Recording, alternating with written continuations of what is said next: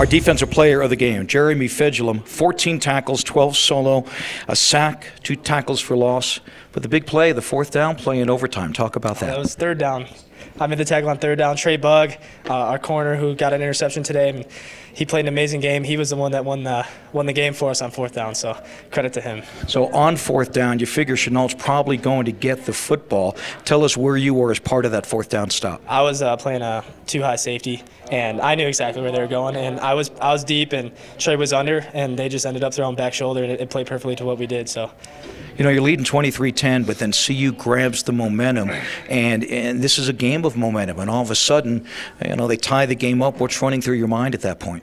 Um, just got to play each play and get ready for the next one. Really, I mean, you can't really think about, oh, they have the momentum now. It's a momentum shift. The game of football is a big game of momentum. So you just said that. You just got to go out there and do your job and hope that the game goes your way. So those may be the best wide receivers you'll face all year long. How were you able to slow them down today?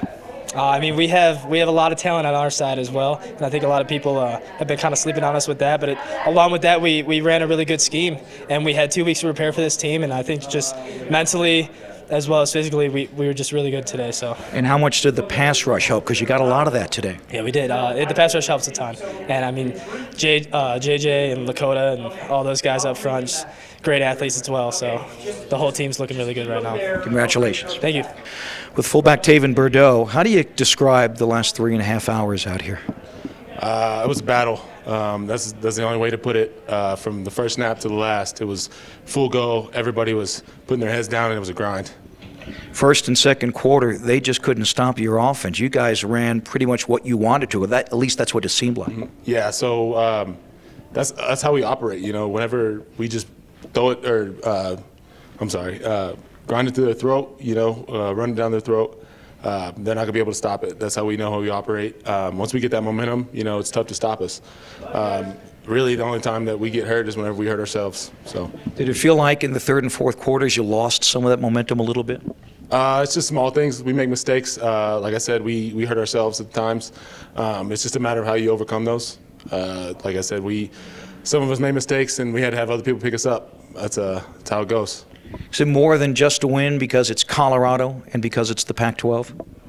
Uh, I mean, there's a lot behind it. Uh, if it's a great feeling winning this game, uh, there's a lot of people coming into this said we weren't going to be able to keep up with their speed. You know, Pac-12 speed, uh, Pac-12 defense. You know, we can't handle them. Uh, so there's a lot more overcoming. I mean, it is a dub. We're looking forward from here. Um, but it's a great feeling winning this game.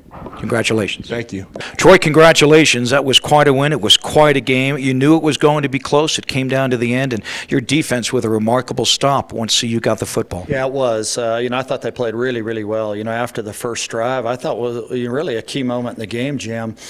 Uh, Colorado had a heck of a drive starting right there at the beginning, and uh, with the turnover, and we held them to a field goal. That was huge, and uh, really kept it uh, within striking distance for us early. And not only that, you had three turnovers, but they only scored three points off of those turnovers. So even after that, it was bigger and bigger the way your defense played. It was. Uh, you're right. That's a key part of the way we need to operate going forward too. Offensively, uh, we saw some things we haven't seen actually maybe in a couple of years, especially with Kadin Remsberg. And what did it mean to get him to the outside today? Well, it helps. Uh, he does have really, really good top end speed, and, uh, and yet at the same time, that means that we're doing a good job up front, and doing a good job on the perimeter, too.